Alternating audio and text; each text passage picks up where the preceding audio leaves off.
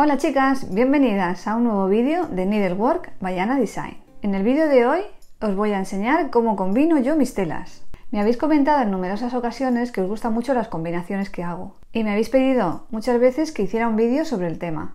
Bueno, pues hoy ha llegado el día y os voy a contar todos los truquitos de cómo combino yo mis telas para sacarles el 100% a cada una de ellas.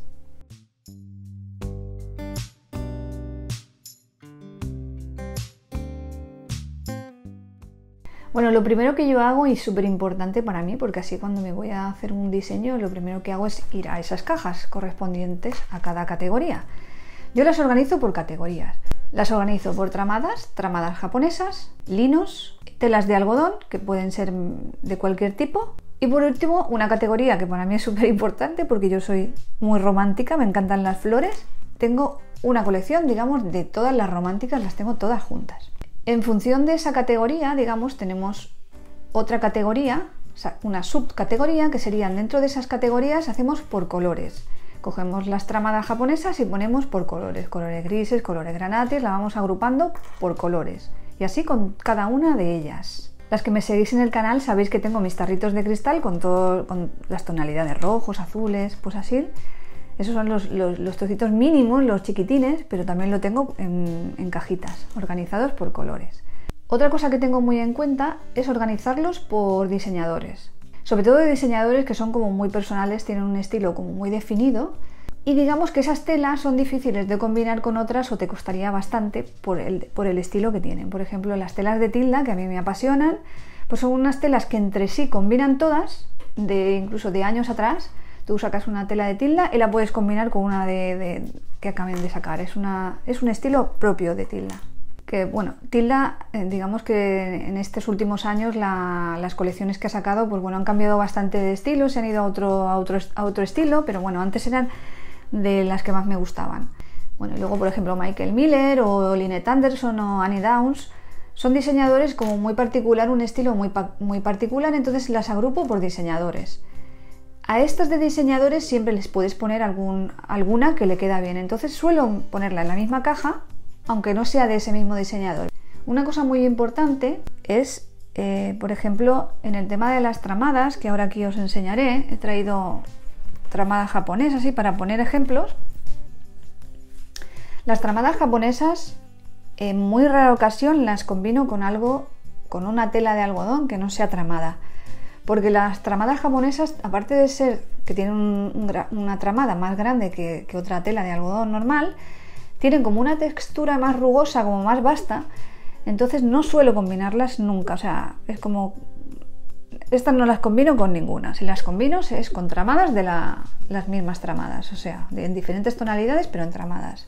¿Veis? Como veis aquí, las voy combinando en tonalidades en, tonos granates, en tonos grises, en tonos azules. Siempre vamos jugando con eso. Entre ellas las puedes combinar, por supuesto, haces un bolso y puedes combinarlas entre sí. Pero yo me las organizo así, de esta manera.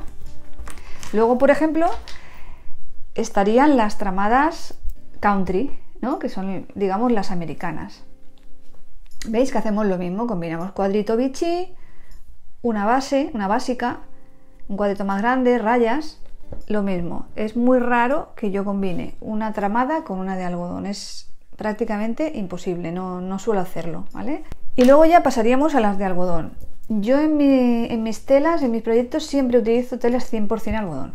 Utilizo también lino y a veces lino, mejor un 50 lino y un 50 algodón o un 75, en fin, o lino 100%. En el caso de las de algodón, puedes combinar cualquier textura. Ahí sí que es como puedes combinarlas de cualquier forma. Vamos a hablar de los imprescindibles en cuestión de telas. Para mí, una tela imprescindible es el lino color arena. Es que para mí este lino es de, de, lo que más uso, lo utilizo en delantales, en el fondo de aplicaciones. Es algo que tengo en la tienda, una referencia y la repito y la repito y la repito. En básicos de, de lino la tendréis. Es la básica de los linos que tengo.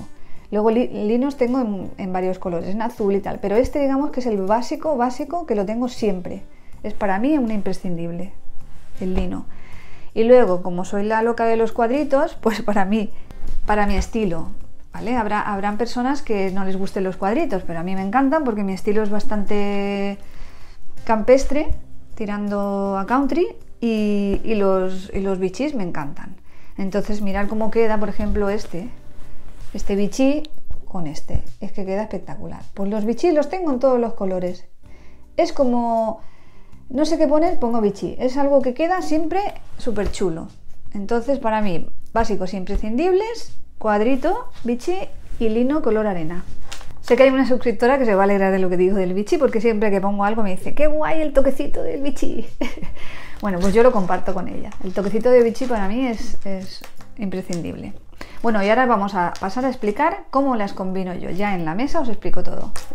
Bueno, primero de todo os recomiendo que cuando vayáis a hacer una labor grande, estamos hablando de a lo mejor una colchita o algo grande, que no sea una colcha, pero me da igual, que sea que vayáis a utilizar mucha, mucha combinación de telas. Yo os recomiendo que vayáis al diseñador y que compréis la colección completa. ¿Veis?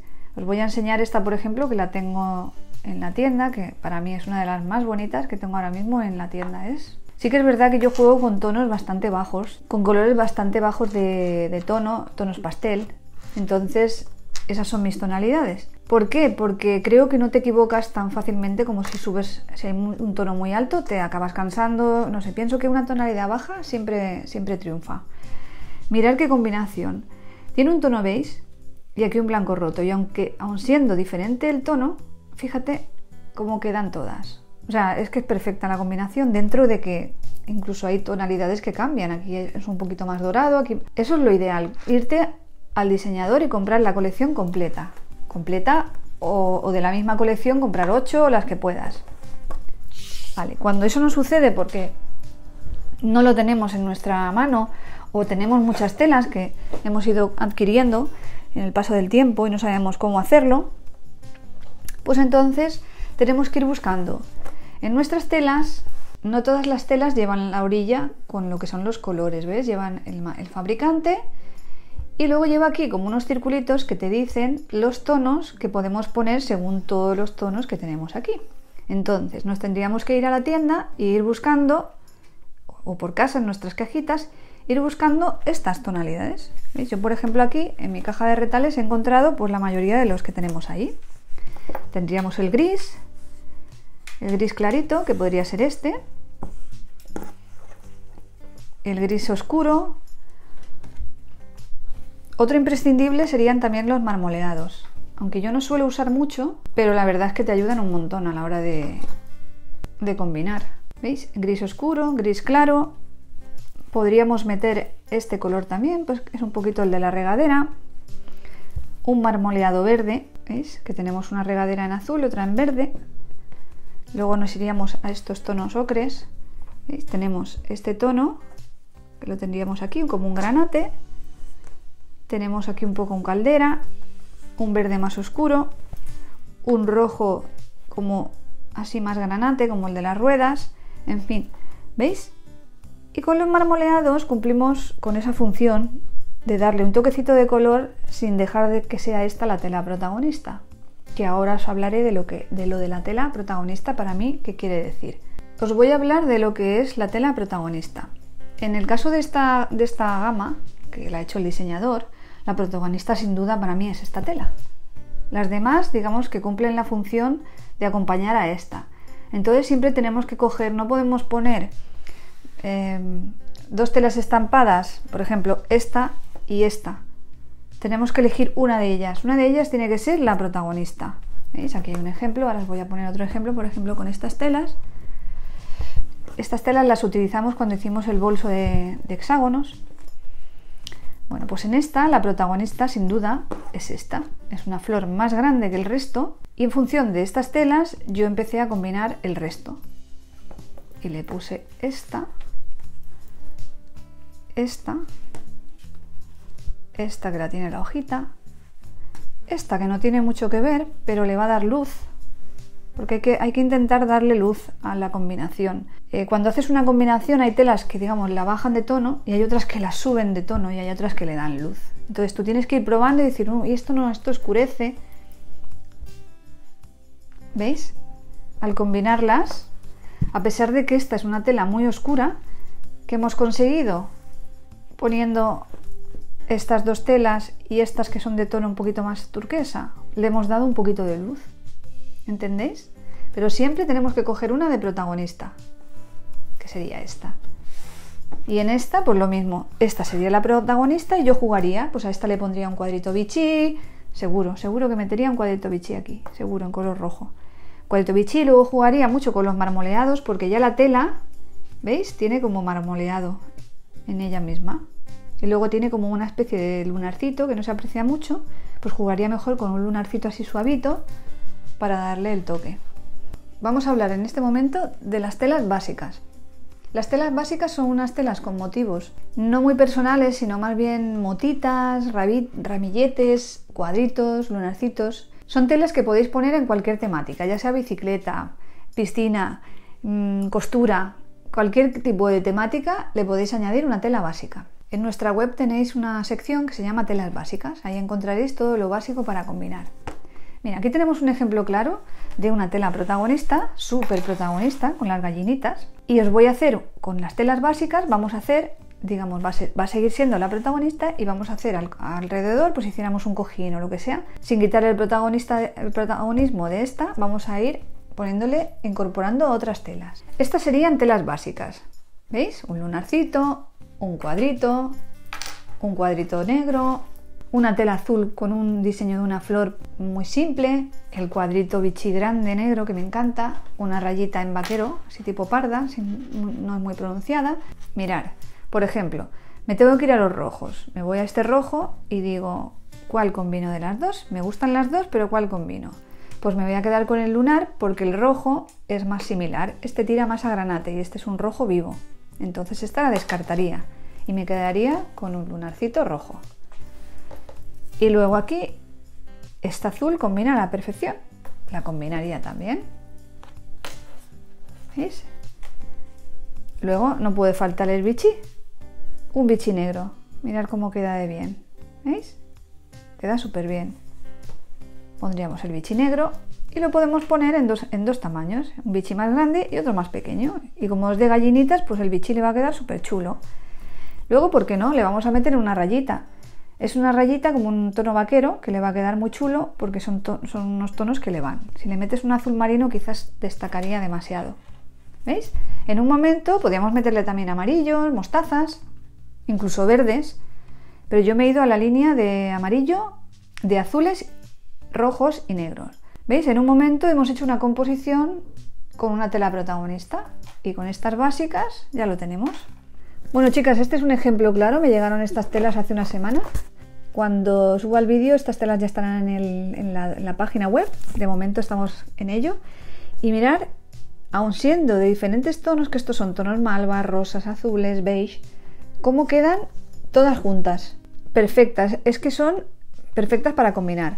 Yo aparte, como hablando del cuadro que me encanta, en la colección no venía cuadro, pero fijaros cómo queda este cuadro con todas estas tonalidades y este cuadro. Queda ideal. Y luego la raya, el toquecito de raya en rosa, bueno, me parece espectacular.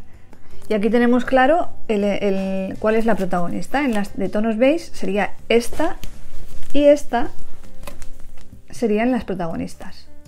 Y en cada tonalidad viene una protagonista, ¿veis? En la, en la tono azul, protagonista esta florecita pequeña que sería más básica.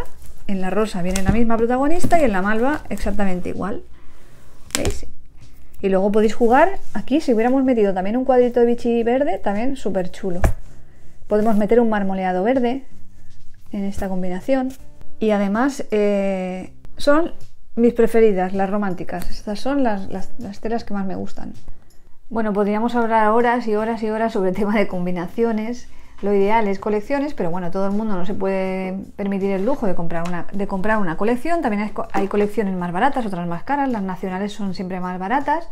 Pero si no tenemos en nuestra mano y seguís mis consejos, vais a hacer unas combinaciones súper bonitas. Lo único que tenéis que hacer es probar. Probar esta con esta y cuando vayáis a la tienda es muy importante que llevéis la tela. Porque tú puedes tener en tu cabeza la idea de un color y luego llegas a la tienda te traes una tela en un color azul y llegas a casa y dices no le pega.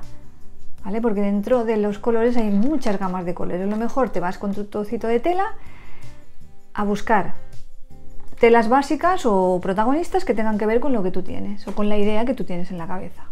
Seguro que a partir de ahora os fijáis en las combinaciones que he hecho, en las que he puesto de protagonista, en las que son básicas. Os vais a ir fijando en cómo yo lo hago. Y espero que os haya sido de gran ayuda. Nos vemos en el próximo vídeo. Hasta luego.